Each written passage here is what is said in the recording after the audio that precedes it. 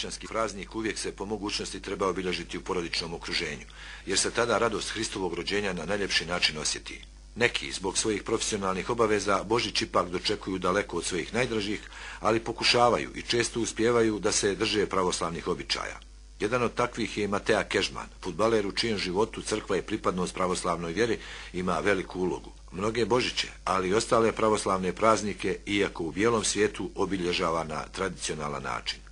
Sigurno je dostaje taj neki ambijent, e, porodični, kućni, pogotovo e,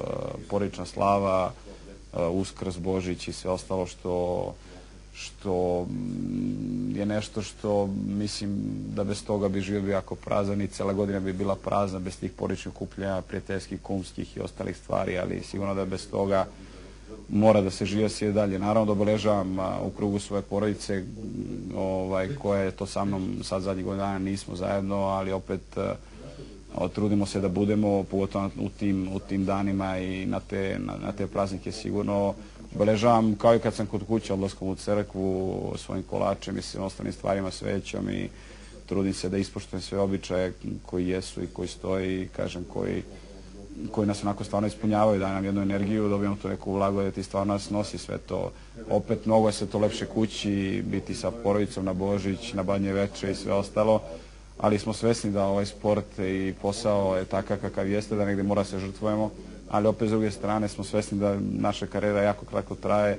da posle toga ima vremena čovjek onako stvarno se posjeti porodici, prijateljima i svima kojima je potreban. Tako da nedostaje naravno da je prazno srce često u tim danima,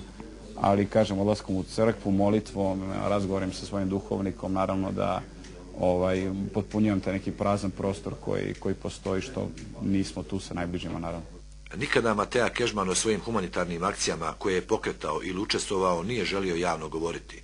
Sebi je stavio u zadatak da da doprinos obnavljanju mnogih manastira i crkava Srpske pravoslavne crkve, jer ga to u potpunosti ispunjava i čini neizmjerno srećnim. Pa jeste, ja o tome stvarno nisam pričao, ne volim ponekad da smo iznosili neke podatke iz razloga da bi možda priukli druge ljude i dobrotvore da kroz moje ime ovaj, opet pomognu koliko je moguće, jer e, naravno da ti kao pojedinac nekad u situaciji da nešto izguraš sam do kraja i onda iz tog razloga sam dopuštao da se s nekim podacima izađe u javnosti, da se nešto negde kaže, ali u suštini sigurno da ispunjava neko srce, pogotovo gradnja manastira, crkvi i ostalih stvari, pomaganja nečemu što je stvarno eh, sklonio u drugi plan, a po meni Srbija kao, kao zemlja bez pravosli, bez svoje vere nije to što jeste i sigurno nećemo nikada moći idemo napred u suštini bez, bez Božje pomoći. Tako da narod se vraća, veri crkve su dosta punije i mislim da,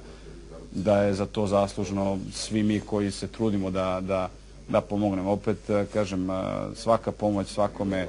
je dobro došla, dosta sam, mora da kažem, pomogao i porodicama sa Kosova i svim ostalim i trudit se stvarno da izađem svakom u susret koliko je moguće. Organizovali smo dosta ovako akcije za koje se ne zna sa svojim saigračima, što odavde, što iz reprezentacije, što iz nekih stranih klubova sam neka također prikupljao neka sredstva i to je nešto ono što mi ispunja. Hvala gospodu što mi je dao tu milostinju jer mislim da je to velika stvar i da, da je jako teško dobiti od gospoda, ali eto, meni je dao, nadam se mi neće oduzeti da će biti tako dok sam živ. Za razliku od nekih prethodnih, ovaj Božić će dočekati sa svojom porodicom u Beogradu, a gledalcima radio televizije Republike Srpske je poručio. Pa da ljudi žive u miru, da se vrate crkvi, kao što sam rekao, veri, da pokušaju da budu milostivi, da praštaju, da se trude da, da žive u miru, u bratstvu, ovaj, da poštuju svoje roditelje,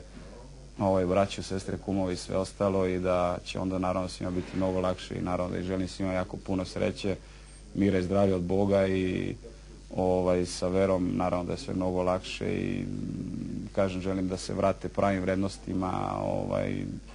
a prave vrednosti su, kažem, opet eh, sam gospodi i sve ono što nam on pruža i kako nas je učio po svetom pismu da treba da živimo, a da ovaj, pokušam malo da, da odbacimo um, ove